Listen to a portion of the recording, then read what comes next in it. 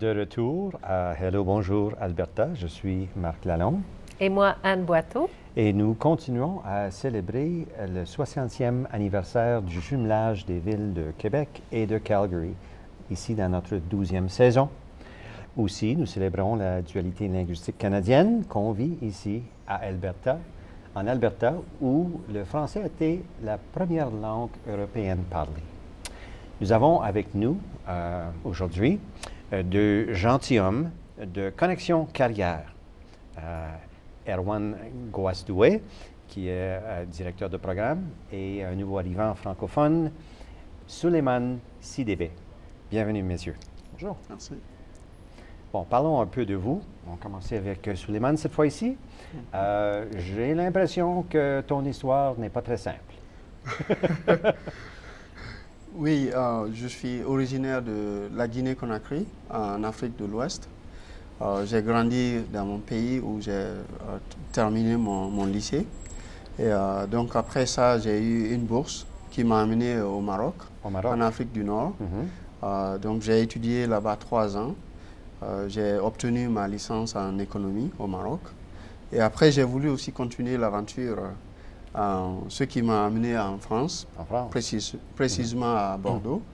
Euh, j'ai aussi donc étudié là-bas où j'ai successivement euh, obtenu deux masters. Le premier, c'était en modélisation économique et le deuxième en, gestion des risques. Hmm. Et donc après ça, je suis monté à Paris où j'ai travaillé pendant trois ans en finance. Et donc j'ai aussi senti le besoin d'apprendre l'anglais et surtout euh, de venir ici au Canada, sur ce beau pays multiculturel. Et euh, j'ai aussi choisi l'Alberta et précisément Calgary. Donc je suis ici depuis trois ans. Formidable, tout à fait. Et toi, Erwan? Ben, moi, je suis originaire de France, de Bretagne particulièrement, comme mon nom l'indique.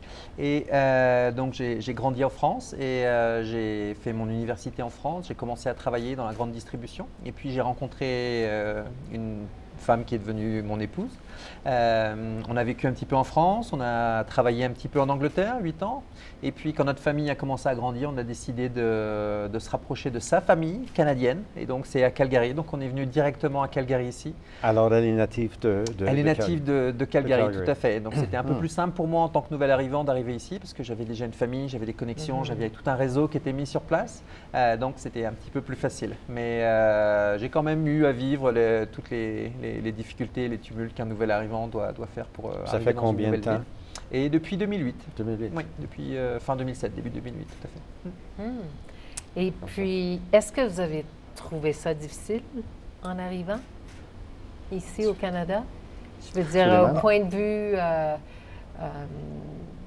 travail et tout, c'est pas si simple que ça de.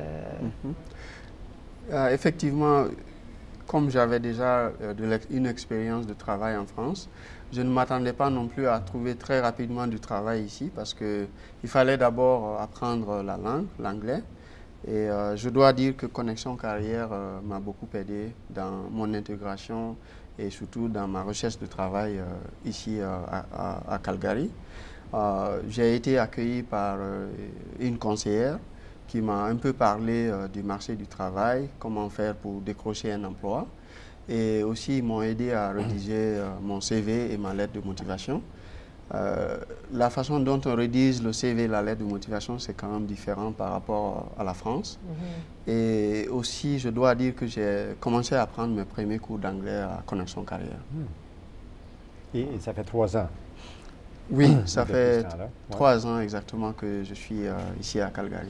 Alors, tu es arrivé euh, à l'automne 2013. Mhm. Et puis, euh, ça a pris combien de longtemps de, te trouver un emploi dans ton domaine? ça m'a pris huit mois pour trouver un emploi. J'ai trouvé mon premier emploi en juillet. Et par la grâce de Dieu, je suis toujours avec la même ah. entreprise. c'est bien, c'est bien. Et est-ce que tu étais déjà venu euh, en Alberta ou au Canada avant d'émigrer? Non, je n'étais jamais venu euh, au Canada, mais j'avais des amis ici. Ah, OK. Euh, des amis qui vivaient à Edmonton, qui sont encore là-bas et aussi au Québec. Donc, fort heureusement, ils m'ont tous suggéré et conseillé de venir ici à Calgary. Ils vous ont dit qu'il fait chaud, il fait beau. Oui, c'est la plage tous les jours. Oui, c'est vrai qu'il fait un peu plus froid ici quand même par rapport à la, France et de sous-croix aussi encore davantage par rapport À, l'Afrique. Mais j'aime bien ce, climat, j'aime cette ville euh, et la province. Alors, as-tu l'intention de rester longtemps? Oui, j'ai l'intention effectivement de, de, rester un peu plus longtemps ici à, à Calgary. Formidable. Bien. Oui. Erwan, si on parlait un peu de connexion carrière et des services qui sont offerts. Oui. Ça existe depuis, depuis quand? C'est où? Euh, c'est quoi? Donc, c'est un centre d'aide à la recherche d'emploi pour les francophones. Donc, nous sommes ouverts depuis juin 2008. Euh, nous sommes financés par le gouvernement de, l'Alberta pour aider les francophones à, trouver du travail euh, sur Calgary. donc, tous nos services sont sans frais, sont gratuits. Euh, et euh, nous sommes situés au centre-ville de Calgary. Euh, on peut trouver facilement l'adresse sur, sur, notre site, sur notre site internet. Mhm. Nos, services sont vraiment basés sur les, besoins de, de, chaque personne. Donc on commence toujours par accueillir les clients d'une manière individualisée, où on s'assoit avec eux, on fait le point, on apprend à savoir d'où ils viennent, qui ils sont, c'est quoi leur objectif. on prend le temps de leur expliquer qui est Connexion Carrière, qu'est-ce qu'on a à offrir. Et puis, basé sur ces deux éléments-là, on développe un plan de service ensemble euh, qui va être individualisé, basé sur les besoins de, de chaque personne.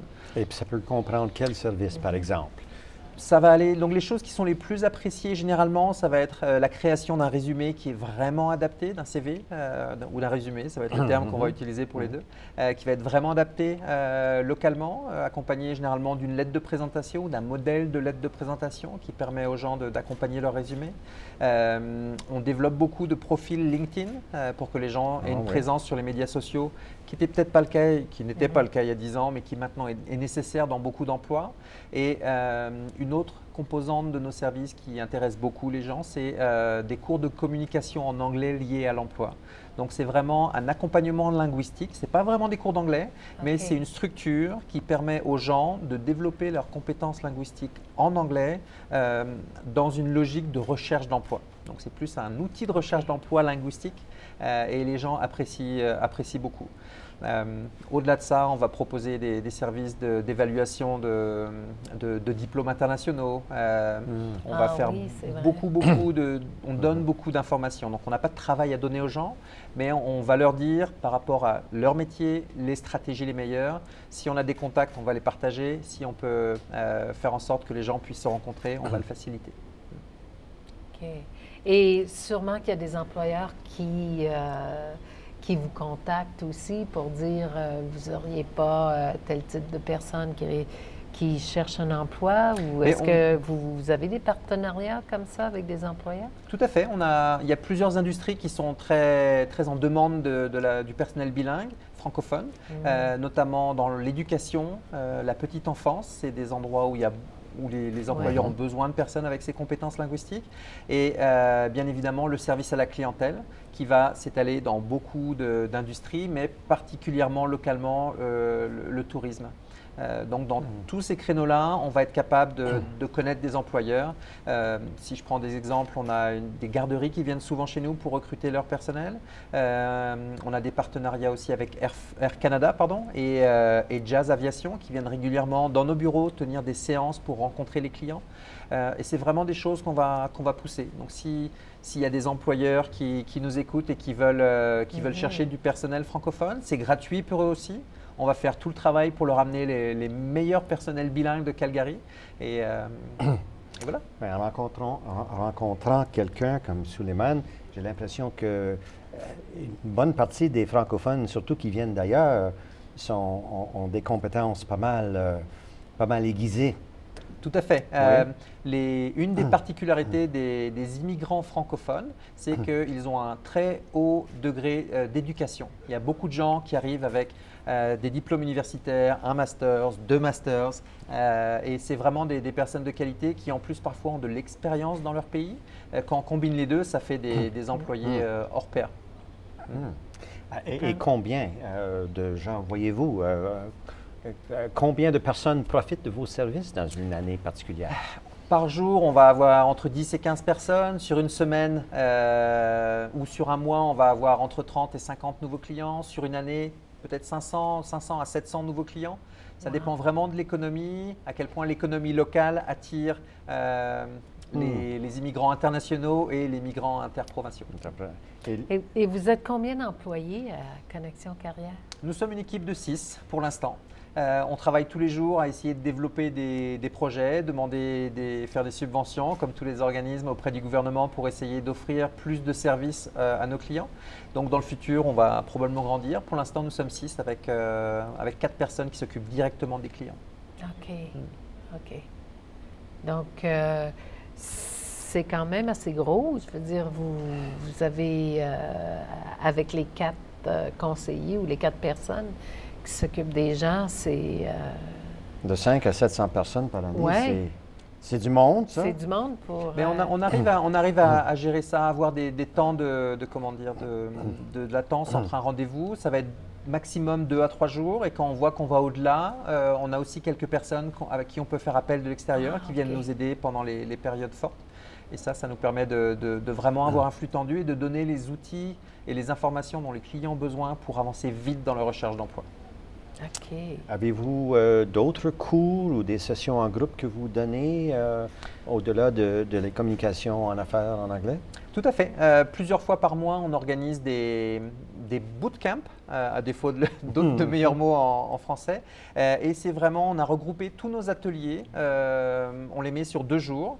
Et euh, pendant ces deux jours-là, on va donner toute l'information dont les personnes qui cherchent du travail ont besoin, que ce soit pour la création de leur résumé, euh, les stratégies de recherche d'emploi ou la création d'un profil LinkedIn. Après ces deux jours-là, il y a une demi-journée de pratique à l'intérieur de ces deux jours. Et après ces deux jours, les personnes devraient être capables d'avancer très très vite dans leur démarche. OK. Et qu'est-ce qui est différent ici à Calgary, point de vue emploi euh, ou recherche d'emploi, euh, si on compare avec euh, peut-être Edmonton ou... euh, Ou, ou Québec? Je pense ou- qu'avec Edmonton, ça va être assez similaire. Euh, Ok. Le type d'emploi va être un peu différent. Euh, juste l'économie, à Calgary, on va avoir plus de, de- de- de- de travaux, de- d'emplois dans, les, dans, les, dans les bureaux, dans les, dans les centrales, alors que Edmonton ou plus dans le nord, euh, on va avoir des, beaucoup de, de, de jobs Travail dans, technique, dans, la-. Dans le gouvernement et puis autrement Mm. Ah plus, oui, plus manuel. Ouais. Euh, par contre, en termes de recherche d'emploi, c'est un petit peu la même chose, mais quand on le compare avec des, des choses comme la France des- ou l'Angleterre, c'est deux, endroits dans lesquels j'ai eu la chance de recruter des gens, euh, c'est vraiment cette- ce côté interpersonnel de, de réseautage. Euh, c'est pas du piston, c'est vraiment une manière différente de pouvoir présenter sa candidature à un employeur. Un employeur, peu importe le, le temps de l'année, il va avoir une pile de résumés. Et si notre résumé il est juste à l'intérieur de la pile, c'est très difficile Il de se s'en voit sortir. pas. Alors, Ouais. il s'agit de faire, se faire ressortir euh, du, du, du- du grand groupe. En tout cas, euh, malheureusement, c'est tout le temps que nous avons. Merci, merci, merci de, de nous avoir présenté euh, vos services et, et ton histoire, Suleiman. Merci de Euh, nous alors, avoir nous parlons à Suleiman euh, Sidibé, euh, nouveau arrivant, euh, nouvel arrivant euh, francophone, et le directeur des programmes Erwan Goastoué, pardon, j'ai- encore un peu de rhume. Merci beaucoup, merci à nos, nos bénévoles et merci à vous d'avoir été des nôtres. À la prochaine.